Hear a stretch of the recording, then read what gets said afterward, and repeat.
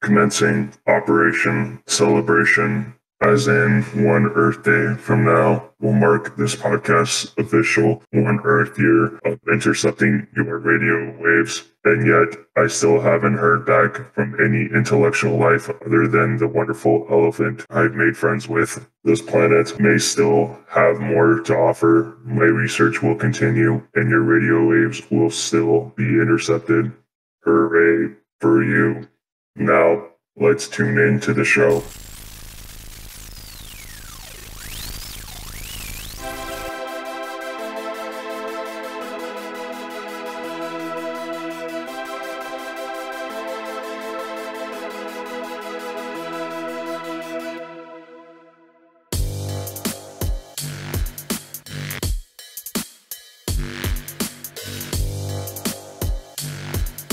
Hello, and welcome to the podcast where we are currently recapping the events of Transformers IDW 2005 continuity.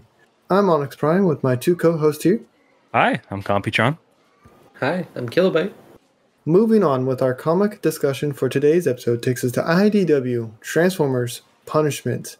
And as always, spoiler warning. So if you haven't read it already, we recommend you go back, read the comics, then come listen to the podcast. Now, onwards with the podcast.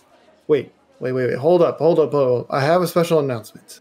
Happy one year, everybody. We've been a podcast for one whole Earth year since May 10th, 2021. Hooray. We've made it. Hooray. Is there a vendor bot at the bar?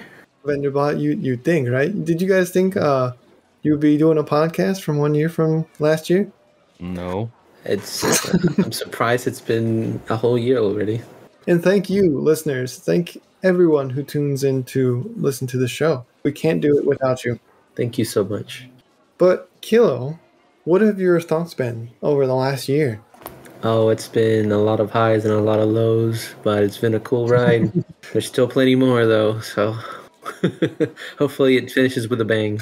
Yeah, I mean, I don't know. I wasn't expecting it, and then I just pulled up my calendar and saw it was May 10th. I'm like, oh, wow. Okay. Honestly, I think one of my favorite things is this. It, it doesn't feel like a year; it feels shorter. And um, to be honest with you, I'm hoping that it continues to feel short and sweet as we continue to do this. What's that Earth saying? Uh, fun flies when you're having time? No, that's not it.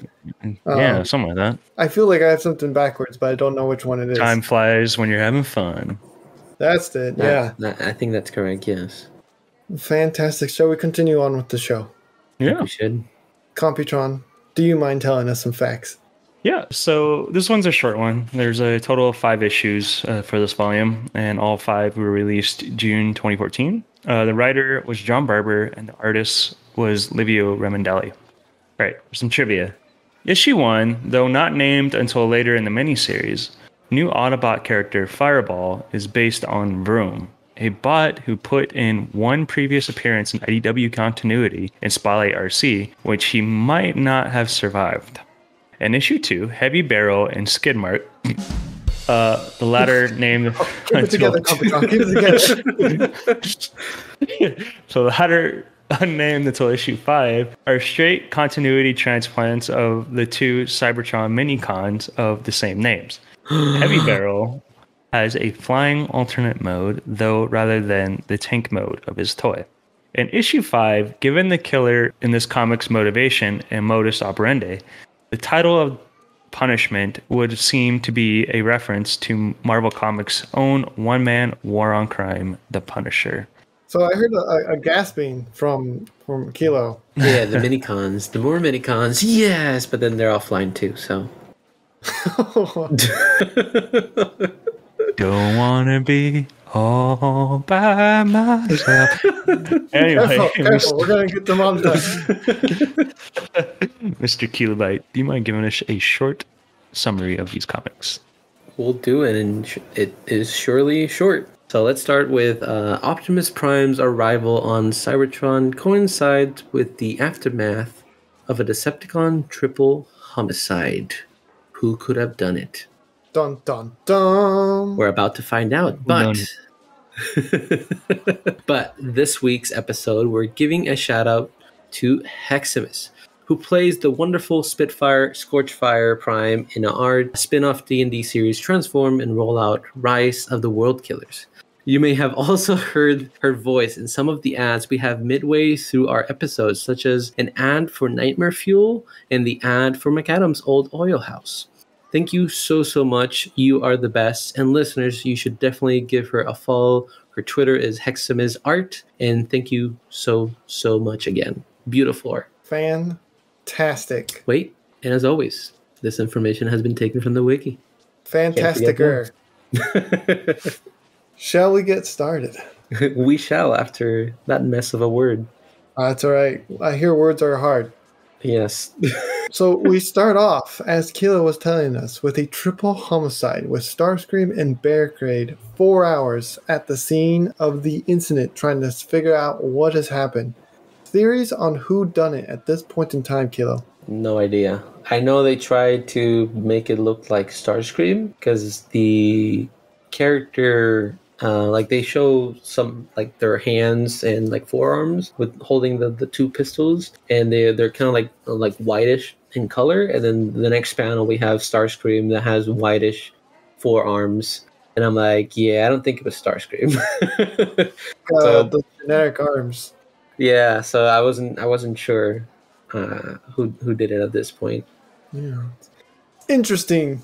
Uh, revisiting back and forth, flipping from that image to the to, to the very end. I won't spoil it until we get there, but uh, there are some statements said that kind of don't add Uh, up yeah, they don't add up quite, but we'll we'll get there eventually. We'll get there eventually. So, Computron, what are your thoughts on Optimus arriving on scene and deciding taking matters into his own hands and taking a stroll down the Decepticon ghetto? And do you ever feel like uh, the Autobots are like an allegory for something? Yeah. Yep. So I don't know. It was kind of interesting because like one of the scenes Livio Ramondelli was really good at drawing here was uh, when the Decepticons were pulling in, and it kind of looked like he was amongst like the Walking Dead kind of scene. Yeah, Yeah. And uh, one thing I want to point out is probably like one of my favorite things in this uh, specific issue is I think page eleven is where you see like this, and it's like a it's very metaphorically uh, drawn uh, where Starscream is reaching down to give uh, Optimus like a you know looking like Optimus's angel saving grace like that. I, you can definitely get that vibe from this. yeah. yeah I was gonna I was gonna say that too Yeah, But uh, we we know Starscream's no angel. It's more like making a deal with the devil because he's Yeah. right. yeah, exactly. It looks like Lucifer in the sense. Yeah, yeah, yeah, absolutely. I do like that the first people that kind of approached him, I kind of want to call them the Fire Cons. Is like what Uh, yeah, is. that is their I think that is their name right Yep. Yeah. Oh, and they were the first to approach him, and like I think uh, one of them even shoots a fireball at him, and then all of a sudden the Decepticons just start enclosing on him. Yeah, it's a very powerful scene too, because the Decepticons now that Cybertron is united, right? But the Decepticons, like all the bots, still hold grudges against the Decepticons, so they're not finding any work. Other bots don't really want them near them at all, so they're they're kind of like kind of like what you said, zombies, just mindless, walking around, trying to hopefully find something to sustain them. And and that message is very like it's very in your face in these images. yeah. It makes you feel very bad about the Decepticons. Like they they've had the worst luck. Yeah. And I want to also point out when Starscream is saving Optimus from this scene of events, that Starscream is kind of mocking him on Optimus's lack of flying mode, and we get this theme about staying grounded. Uh, Optimus will say it repeatedly through throughout the comic, and it'll kind of bring everything full circle to staying grounded and double meaning being both on the ground and mind body and mind if that makes sense staying grounded Yeah. A lot of metaphors. yes Which kind of makes Starscream's ego kind of pop in this uh, page where he looks like an angel. Yeah. Yeah. yeah That's so good. Optimus continues his chase because mid-flight he sees someone that could be a suspect and begins chasing them. And I enjoy the suspect running and says, "Guys, guys, Optimus freaking Prime is after me." it's hilarious. Freaking Prime. Yes, freaking Prime. The comedy ends very shortly because his friends are murdered. Yep. And, it's, and, and he's murdered eventually. Not by Optimus, but by our mystery murderer, which we still at this point do not know who it is. Dun dun dun. Thoughts on the Infernus bullets Sandstorm talks about during their investigation? You know, the one that buries into your circulatory system and overloads your spark and burns you up from the inside. The one that he knows so much about and is so into, you know, intel- intellectual about the subject. He used to be a wrecker, so he's got to know, right? yes. Yeah, but it doesn't really help his cause, but we'll talk about that later. Uh, I But thought Autobots, there is no Autobot on Decepticon or Autobot on Autobot violence. uh, that's, that's we shall see. Uh, but I, I thought those bullets were very interesting. So uh, I feel like there there's an example out there I can't really remember right now, but I feel like there's I've I've I've read or seen somewhere there there were like also like tracking bullets where like they would track your heat signature and stuff like that. And but these ones kind of like once they enter your system, they'll search for your spark through there. So I thought they were very interesting, very cool idea. Yeah, very scary too. Yeah. Yeah. Burning from the inside out. I'd rather go outside in. Thank you very much. I'm sorry. I'm I, used to other both does not sound good. Both does not sound good. so wh- where does this technology come from inspiration because they do talk about there's a specific group of cons the fire cons. Fire guns. yeah i hear they're a fiery bunch yeah, I think uh, they can produce flames from their body. So they were studied, and they the Decepticon re-engineered how they function into bullets, and that's how kind of they got the I heard they're a blast to hang out with. Sorry, I'm trying my best here. yeah there's a there's a lot of fire in these comics you know speaking of hot stuff let's tune in for an ad break uh, you spun that around. I, I can spin anything around Let's play Guess That Con. Hey Onyx, what do you have there? garbage o's they are fantastic Can I have some? Of course you can. They have all your daily minerals and energon you will need throughout the day, all jam-packed into a delicious breakfast cereal. I can't wait to try some. You can find Garbage O's at your local Autobot factory, or if you know a bot named Swindle. If purchasing a Garbage O's products, you are therefore agreeing to the following terms and conditions. Garbage O's is not responsible for any Turbo Mice found in products. There are no refunds or exchanges. Oh, Primus, I forgot my faceplate was still on. It's Blitzwing.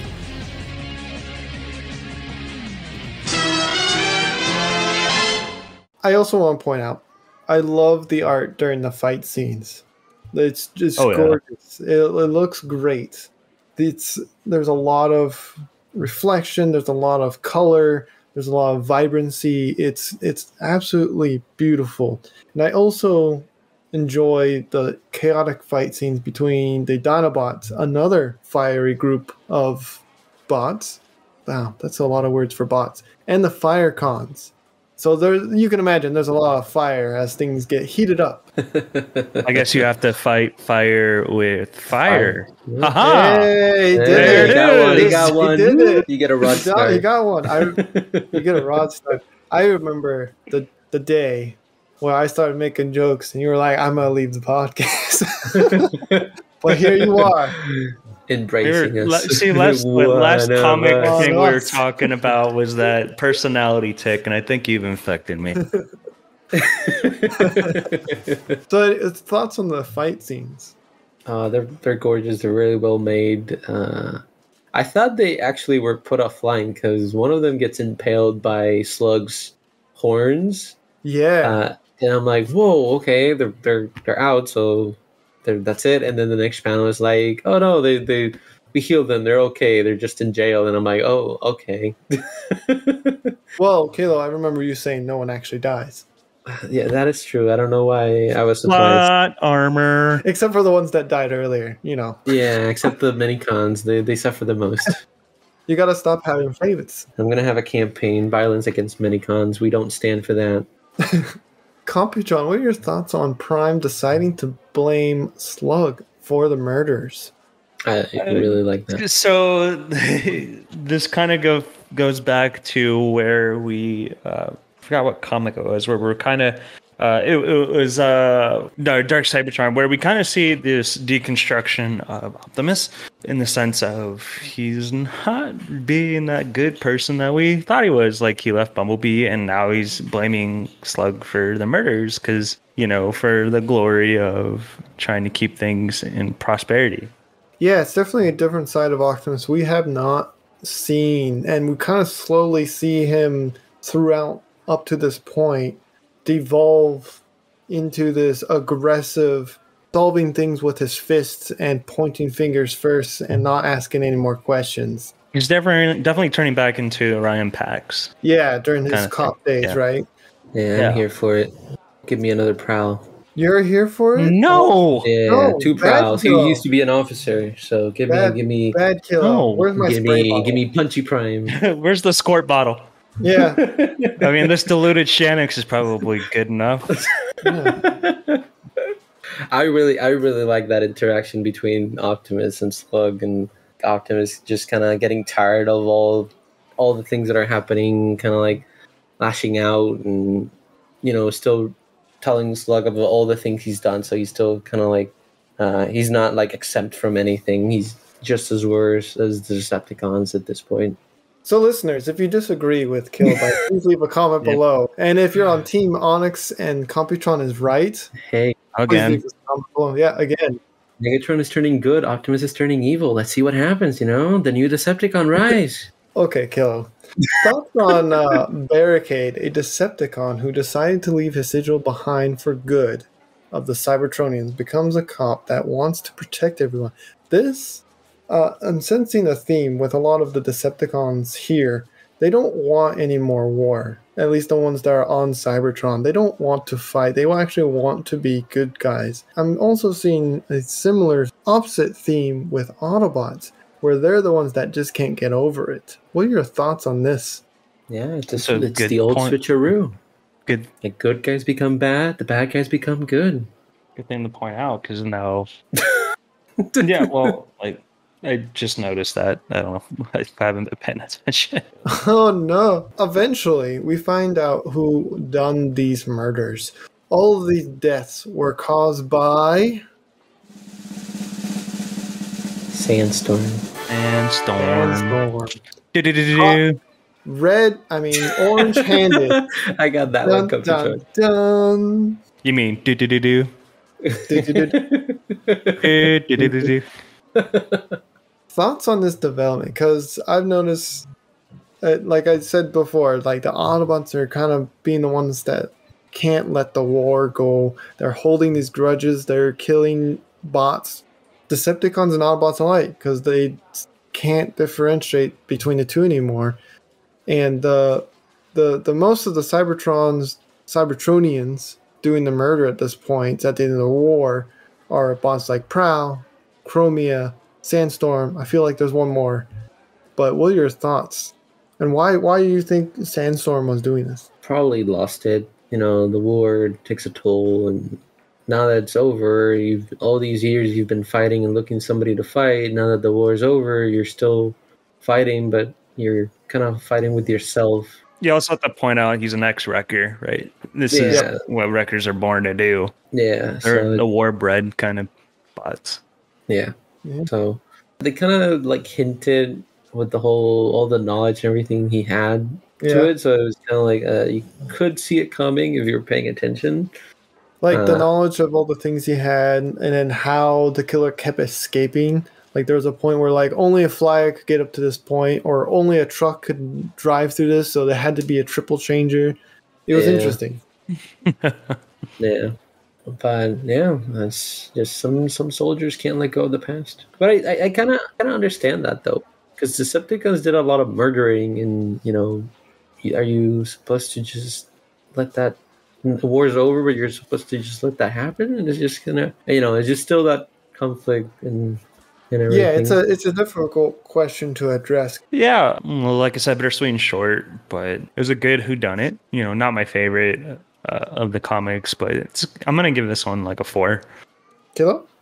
Yeah, I'll, I'll follow up with a, also a four. Uh, like I really liked the whole Optimus kind of losing it and like lashing out at Slug. I thought that was very interesting and like because we've always seen him very calm, and now like I feel like the the war's over, but now he feels like he has to atone for everybody and every bot that he's been in command for in a way, and uh, I really like that. The Who Done It was interesting, but like some of the Sandstorm talking kind of like spoiled it. You, you kind of like noticed it was him. Uh, Yeah, it's but other than that, it was uh, show off a little bit too, which kind of yeah, kind of. gave it away. You gotta be smart, kids. You gotta be smart.